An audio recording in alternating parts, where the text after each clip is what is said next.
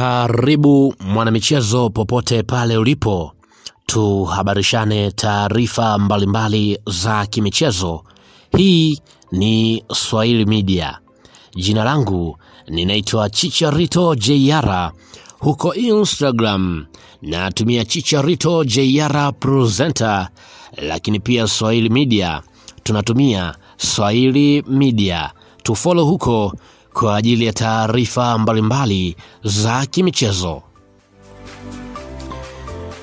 E bwana, raundi ya awali kwa upande wa ligi ya mabingwa barani Afrika imemalizika vizuri kwa upande wa timu za Tanzania ambazo zinashiriki kwa upande wa ligi ya mabingwa, licha kwa upande wa kombe la shirikisho kule e, Geita Gold e, kutolewa kwenye michuano e, kwenye michuano hiyo e, baada ya kuondolewa na Al Hilal ya huko nchini Sudan kwa e, idadi ya mabao yani kwa idadi ya mabao ya ugenini ndicho kitu ambacho kimemwondoa kwa upande wa Geita Gold, lakini pia kwa upande wa klabu ya Simba na Yanga mambo yamekuwa mazuri. Sasa huenda wengi pia wanajiuliza kwamba raundi ya pili michezo yao itachezwa lini na watakutana na timu za aina gani na muda utakuwa ni wa saa ngapi?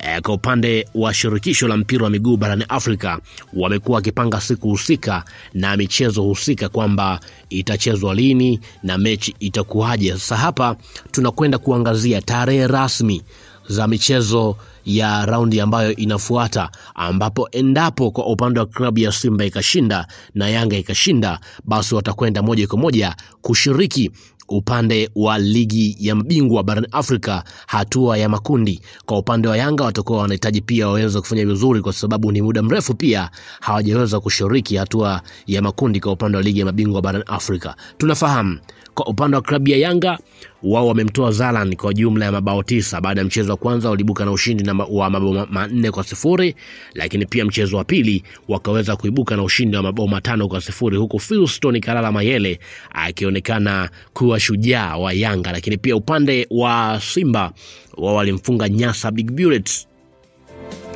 Mchezo wa kwanza kwa upande wa Simba wakaibuka na ushindi wa mabao mawili kwa sifuri. Mchezo wa pili wakashinda hivyo hivyo kwa mabao mawili kwa sifuri. Sasa hii hapa ratiba e, kwa michezo ambayo inafuata, raundi ambayo itakwenda kumruhusu Yanga na Simba kwenda kushiriki michuano ya kimataifa. Kwa upande wa klabu ya Yanga dhidi ya Al Hilal e, Yanga wataanza nyumbani e, siku ya tarehe nane mwezi wa kumi. Yanga atakipiga na Al Hilali Omdurman ya huko nchini Sudan.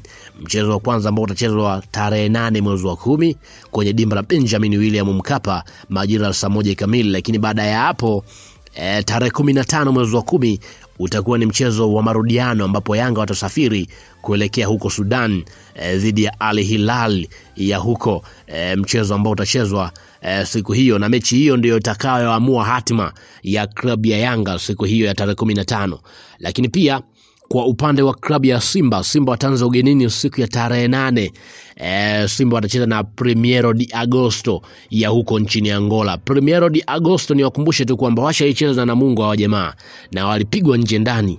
E, kama unakumbuka kwenye upande wa kombe la shirikisho e, na mungu aliweza kuonyesha uwezo wa hali ya juu sana mchezo wa kwanza dhidi e, ya Primeiro de Agosto, lakini pia kwa upande wa Primeiro de Agosto e, wao wamepita dhidi ya Red Arrows baada ya mechi ya kwanza kuibuka na ushindi wa goli moja kwa sifuri.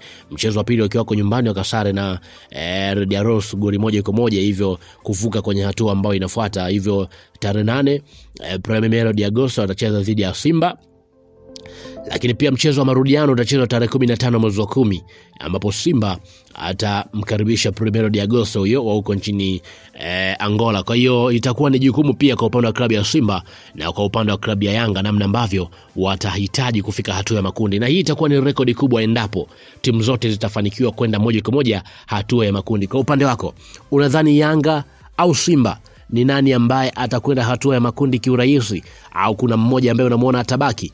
E, wote watabaki kwenda moja kwa moja kucheza kombe la shirikisho? Toa maoni yako nami nitapitia. Hii ni Swahili Media, nikiombe tu subscribe ili tuwe pamoja siku zote. Asante kwa temu yako, tukutane kwa wakati mwingine kwa taarifa mbalimbali za kimichezo.